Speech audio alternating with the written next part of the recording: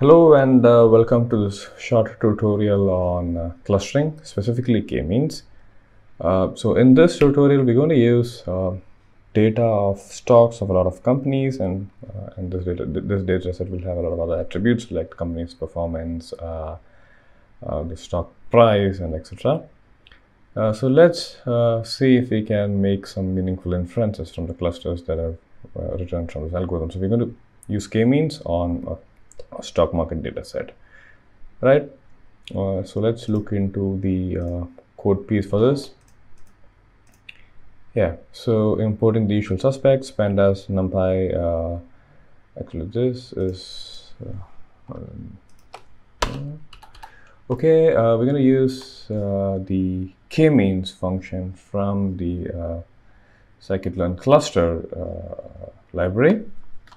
Let me import that let me read the uh, data uh, and give you a glimpse of what the data set looks like. So like I said, I've got different companies, sector, price of the stock, market cap, um, sorry, uh, market cap, and uh, uh, stock return percentage and a lot of other uh, useful information for clustering.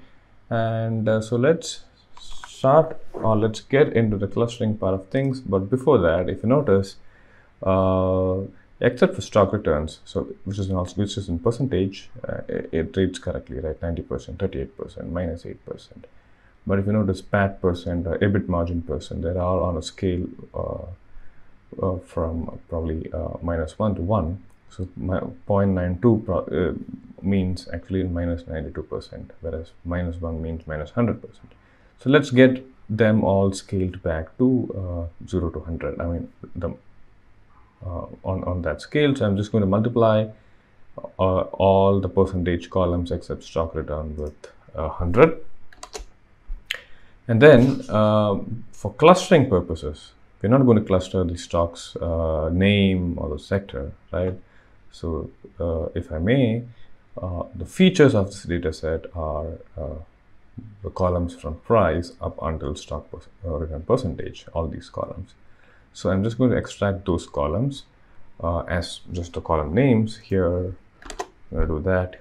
Uh, yeah, from price to stock return percentage. And then just before running k-means, it's a good idea to uh, uh, standardize our, our uh, the features. So I wouldn't say it's normalize just uh, standardize using so I'm, I'm using a min max scaler here. Uh, so all the columns would be now uh, scaled to minus one to one. I'm going to uh, use the uh, min max scaler from scikit-learn pre-processing library. Uh, it's pretty straightforward. I have to initiate a min max scaler. I have to fit it on the the stock data and only on the features columns if you remember these columns. And then I'm uh, uh, converting the it into a pandas data frame and let's look at what it looks like. The uh, min value now in all the column is 0 and the max value in all the columns is 1 so the min max is going to scale all the columns to new values between 0 and 1 right?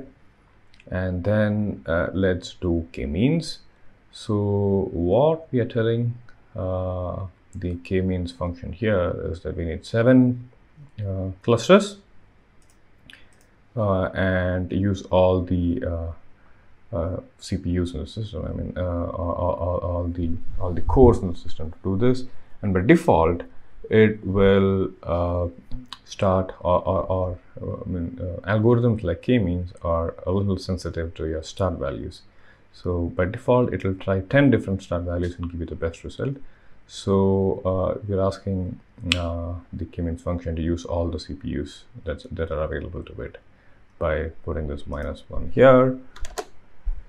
Uh, so now uh, we have to, we've initiated the k-means, now we have to you fit it into this data set and give us uh, the predicted cluster labels for each of these rows uh, each of these rows here. So we get we, we, we get that done using the predict functionality. And if you remember, stock data features scaled is a data frame with only the feature columns, and that means they are scaled as well. Right, I run my k-means on them.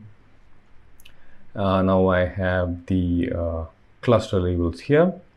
I uh, port that back to our original data set with uh, I include a new uh, column called cluster there because it doesn't make sense to look at the scaled and uh, uh you know uh, data frame without any stock or, or company name. So I'm, uh, I'm going to use my original data set include a column cluster there and pass the cluster labels to that column.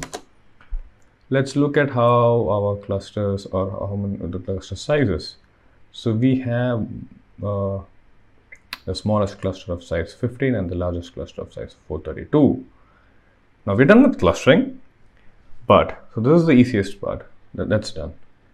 The difficult part or the more interesting part is building stories out of the clusters that you, you've just built, uh, which probably makes uh, a business case or, or, which, which gives us uh, more actionable insights. So for that, one way of achieving that is is to look at uh, what it uh, the cluster averages across all the features right? To do that i'm going to group the data set by the cluster label and look at the mean of them and again only for the you know uh, feature columns which were which were columns. So then one where company name and uh, sector from column 3 onwards we have the features and I'm just rounding it uh, to three decimal points. So again uh,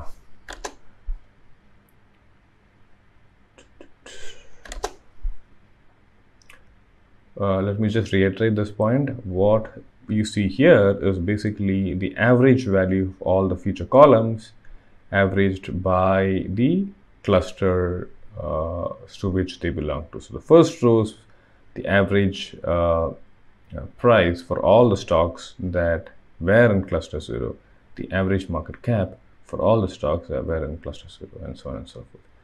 So now, if you uh, look at this cluster, there was this uh, cluster 4 or, or uh, sorry, uh, cluster, okay, let's, let's keep calling it cluster 4 because we, we were starting in cluster 0.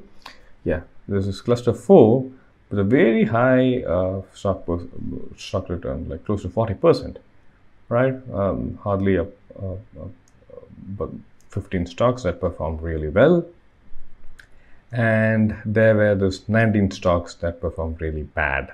Um, probably we lost all the money. Uh, and uh, then there is this uh, let's let's let's try to figure out something else from here there uh, and and uh, not very surprisingly, or maybe surprisingly, I don't know.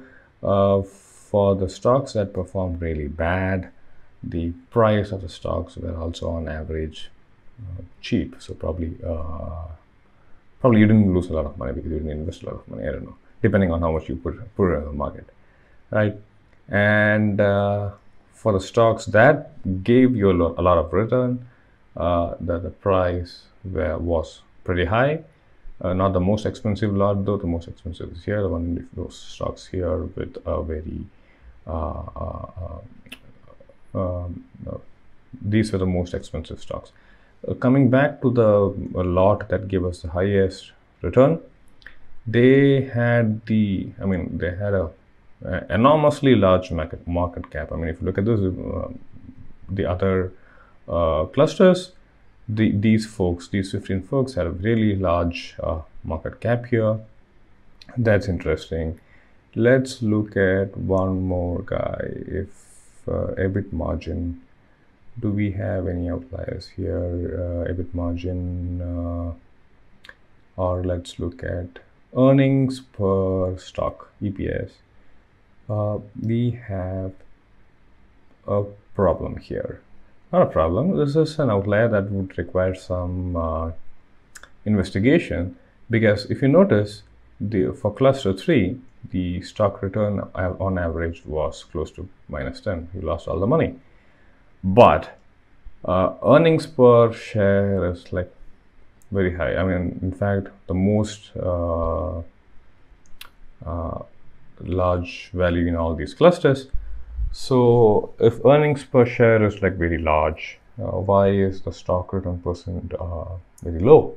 I mean, in fact, negative.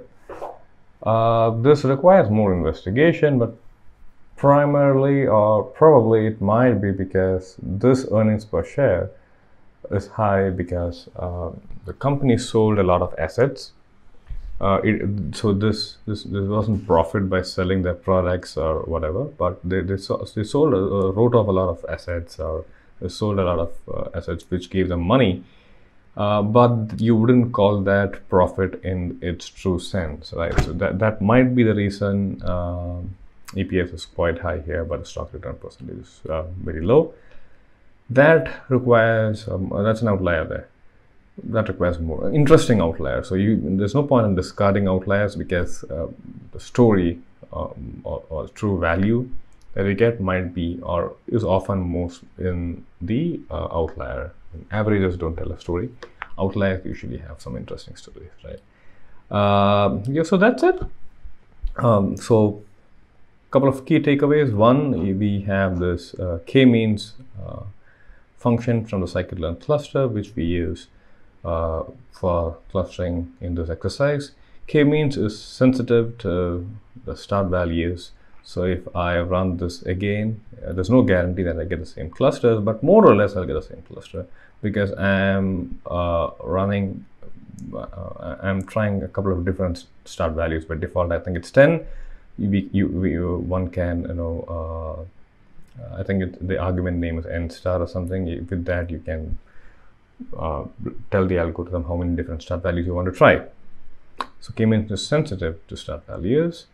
And then, uh, yeah, uh, more than the clustering exercise itself, uh, inferring clusters, that's an art that requires, uh, I mean, that, that, that, that's where the value lies.